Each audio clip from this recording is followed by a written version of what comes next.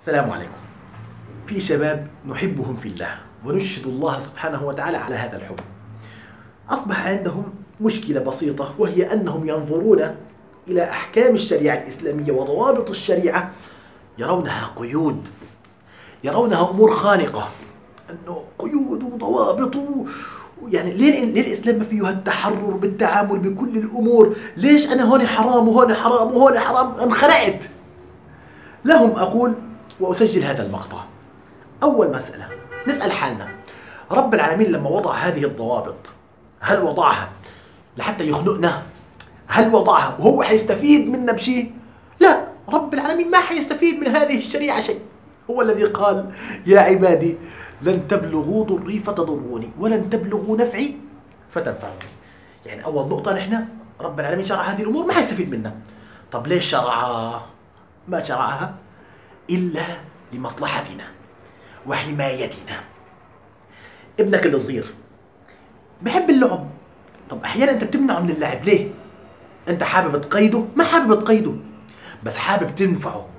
حابه يشتغل بالأمور التي فيها مصلحته في في الدنيا والآخرة.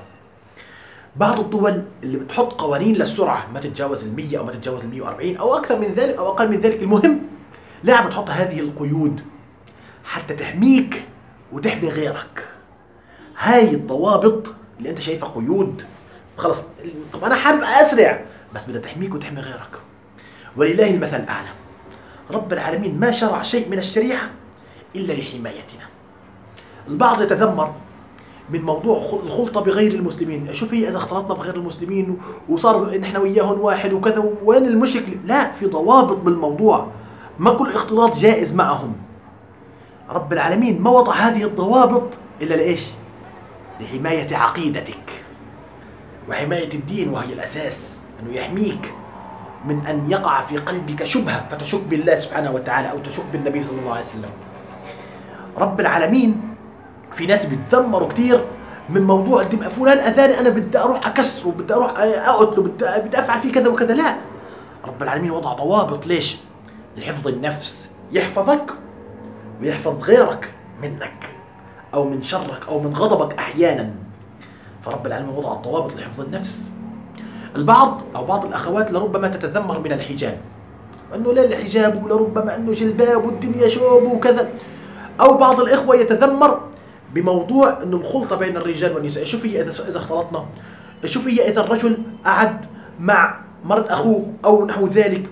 هاي الخلوة وين المشكلة؟ إذا أنا اختليت بامرأة شو كل شيء عندنا شهواني؟ لا رب العالمين ما وضع هذه الأمور إلا لحفظ العرض. من باب الوقاية حتى ما نوصل ونوقع زي ما ناس كتير وقعوا. ناس بتتذمر من امور التجاره المحرمة. طب أنا شوف هي إذا حطيت مصرياتي بالبنك؟ ليش الشريعة بدها تحرم هالأمور؟ شوف هي اذا إذا لعبت أمارة يا أخي مصريات وأنا حر. شوف هي أنا إذا أنفقت على عرسي 50000 دولار أو 70000 دولار؟ وين المشكلة؟ ليش الشريعة حرمت التبذير لحتى تحفظ لك مالك؟ لحتى ما تضيع أموالك وأموال اولادك عشي أنت حتندم عليه بعدين. الشريعة ما حرمت شيء. طب أنا بدي أشرب خمر. وين المشكلة إذا بدي أشرب خمر؟ حابب أكربع شوي وحابب أشرب سيجارة. وين أنا ضرري على حالي؟ لا الشريعة بدها تحفظ لك عقلك. فحرمت هالشيء. فكر بكل شيء بالشريعة دائما بهالطريقة. إنه الشريعة هي ضوابط لحمايتك. وليست قيود لخنقك يا طيب. فكر فيها. وانشر هالمقطع عشان في ناس كتير للأسف صاروا ينظ- ينظروا نظرة سوداوية لأحكام الشريعة. بين لهم انه الشريعة من رب العالمين رحمة وحكمة وحفظ. والسلام عليكم ورحمة الله وبركاته. وسيبقى ذكرها دوما ببالي.